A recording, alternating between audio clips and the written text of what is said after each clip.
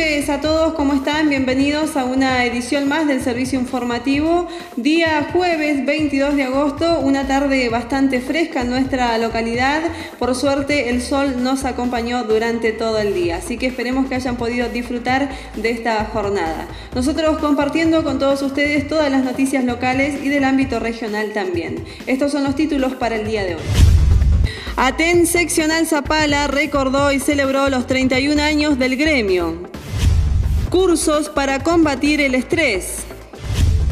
Conferencia de prensa de Ladislao Simons. Ayer, miércoles 21 de agosto, el gremio ATEN celebró sus 31 años acompañado por integrantes de la comisión directiva, afiliados del gremio docente y también los acompañó eh, algunos integrantes de otros sindicatos como es Jorge Salva por ATE y Manuel Quirós por SEJUM. A cargo de la conducción estuvo Cali Hernández y Alejandro Áviles. Nuestro compañero Martín dialogó con Alejandro y con Fabiola Bracamonte, autoridades del gremio aquí en la seccional de Zapala. Compartimos la nota. Nos encontramos aquí en la, en la sede de Aten Zapala con Fabiola Bracamonte y Alejandro Avilés, eh, autoridades acá de la sede de la seccional Zapala y bueno, hoy celebrando los 31 años de, de este sindicato que es tan fuerte acá en Neuquén, ¿no?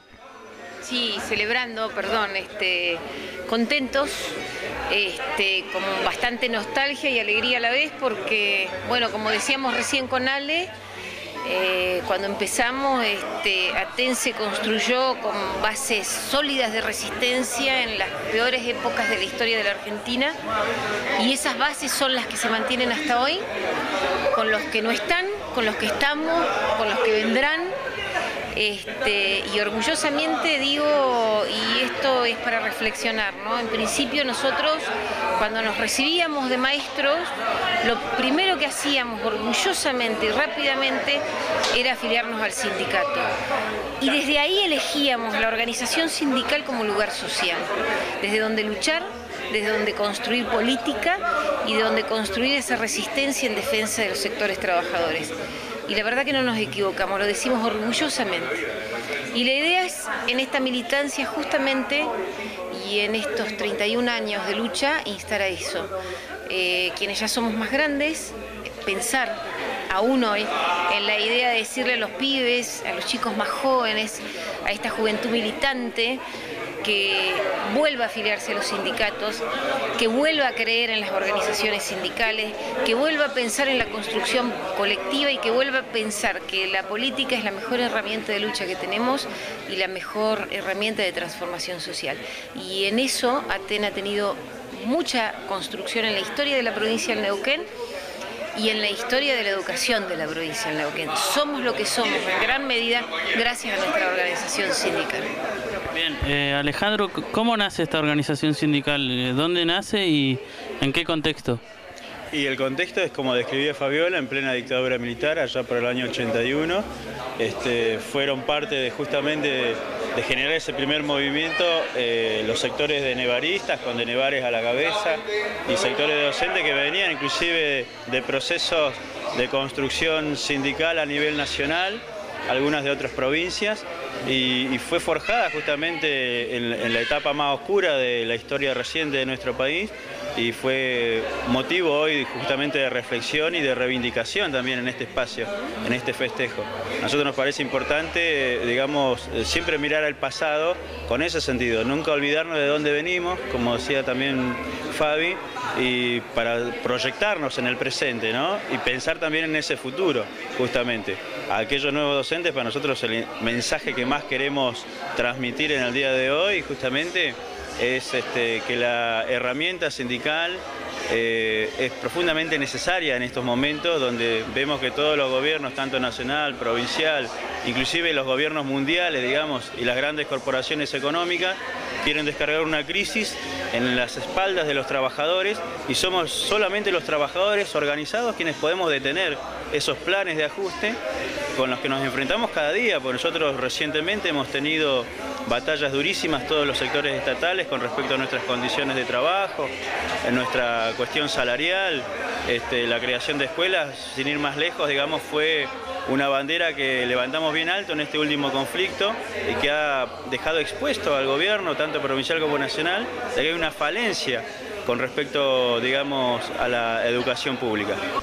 Fabiola, en estos 31 años de historia, ¿qué, hechos podemos marcar como claves que, les hayan tocado vivir a ustedes como, integrantes de este sindicato? Hay muchísimos, en mis 27, casi 28 años de militancia hay, muchísimos, pero hay algo que quiero resaltar. Uno cuando dice, encontré ese lugar social desde donde ser y hacia dónde ir, es un espacio fundamental y nosotros en Aten lo encontramos. Es llegar a este lugar, quedarnos en este lugar y construir desde este lugar.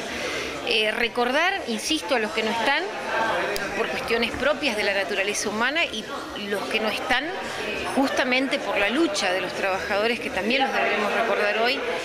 Y recordar, por ejemplo, la, la lucha militante de una provincia, por ejemplo, que fue contestataria y pionera en la lucha contra la Ley Federal de Educación en todo el país, en una década infame, este, cuando se decía está todo dado, está todo hecho, el progreso es esto, y vamos hacia el progreso, y quien esté en contra de esto no quiere el progreso y no quiere el país.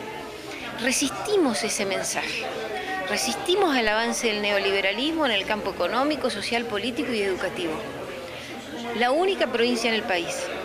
Nos decían que estábamos equivocados y el tiempo nos dio la razón.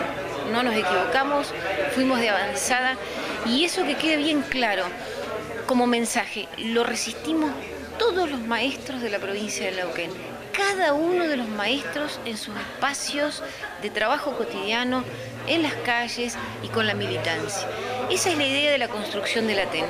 Ese ATEN que transitó treinta y tantos años es ese ATEN que construye día a día junto con el trabajador, en la escuela y en la calle, las políticas de Estado y las políticas educativas. Bien, eh, aproximadamente con cuántos afiliados cuenta el sindicato en la provincia y cuál es la actualidad de trabajo en estos días. Mira, en total los docentes de Neuquén eh, llegan a ser alrededor de 25.000 docentes, de eso aproximadamente la mitad, 11.800 afiliados según los últimos datos que tenemos de, los relevamientos con las últimas afiliaciones, este, son afiliados a ATEN, es uno de los sindicatos más grandes. Eh, eh, de la provincia. Y es un, no solamente, digamos, eh, en, la cantidad de afiliados, sino justamente también en esto que ha sido una, una práctica permanente, la de resistir las, políticas justamente de ajuste, de avanzada contra las conquistas de los trabajadores. en ese sentido, nosotros, más allá de pertenecer a un sindicato, digamos, eh, grande en cantidad, sino que consideramos que la calidad justamente es lo que nos, eh, nos pone más orgullosos, ¿no? Eh, porque hemos sabido construir justamente unas políticas de resistencia, como decía Fabiola, y, es lo necesario más en estos momentos, eh, justamente donde parecía ser que, eh, eh, que no se puede, digamos, crear nuevas políticas o no se puede pensar o repensar un país inmerso, digamos, en una realidad económica y social, como decía antes, de crisis, este, donde los trabajadores nos toca la peor parte. Entonces, en ese sentido, ATE nos pone orgullosos justamente pertenecer a este sindicato, porque ha sido vanguardia eh, en esa resistencia. Hoy en esta conmemoración pudimos ver la visita de integrantes de otros gremios. ¿Cómo se encuentran las relaciones con, los distintos gremios que componen la provincia? Mira, eh, evidentemente diferencias hay e incluso dentro de Aten mismo, decíamos recién, este, hay muchísimas tendencias políticas, pero lo sano de todo esto, hacia dentro de Aten y con, eh, eh, con los gremios hermanos, es que resolvemos las diferencias, discutimos las diferencias y en un plano de igualdad y todos juntos vamos a la calle y defendemos los derechos de los trabajadores. Y eso es fundamental. Y este espacio de encuentro y de festejo también nos lleva a la reflexión en ese sentido. Todo aquello que haya que construir, lo vamos a, seguramente lo vamos a construir los trabajadores. Y que no nos olvidemos que los trabajadores, insisto, fuimos la resistencia en la provincia de Neuquén de todas las políticas de la década de los 90. Y salimos todos juntos adelante. Volver a reconstituir esos lazos de unidad estará obviamente en manos nuestras y estamos seguros que lo vamos a lograr.